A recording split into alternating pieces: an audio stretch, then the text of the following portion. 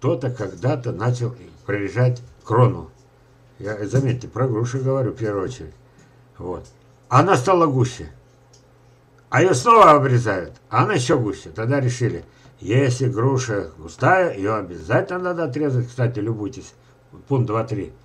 Вот, обязательно но с умом. Обрезку на кольцо. Что вот это отрезал, вот это еще неправильно, вот это действительно неправильно. Взяли, подрезали. Это считается э, жирующее, это считается волчковые ветки. Они считаются не нужны, ну нахрен это убрать, убрать. Но вот это вот неправильно убрать, и правильно пишут, что, что вы, это самое, э, тут столько ран. А вот здесь ран в два раза меньше. Оставили одну, два, три, четыре, пять, шесть. Здесь их было одна, два, три, четыре, ну то есть половину. Так. И нижнюю еще надо убрать. Вот.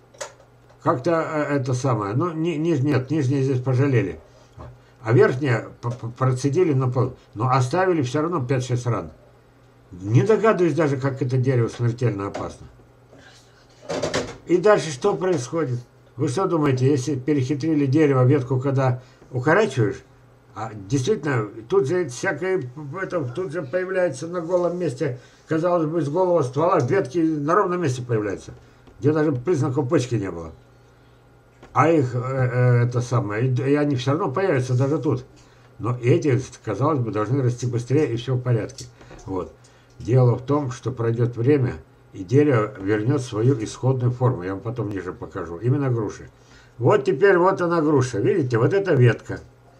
Только потому, что она пологая, избави Боже, чтобы ее отрезать. Растет себе, растет. Так. И никуда не деться. Что теперь делать? Оголять ее? Зачем? Через год это ветки все будут, через два, все в плодах. Не задумываясь ничего, что это, если вот это штамп, это мини-штампики, мини-мини. Она пойдет, надо было бы нарисовать так. Смотрите, штамп, ветка пошла в бок. Штампики, мини-штампики, ветки пошли в бок. Каждая из них в свое время.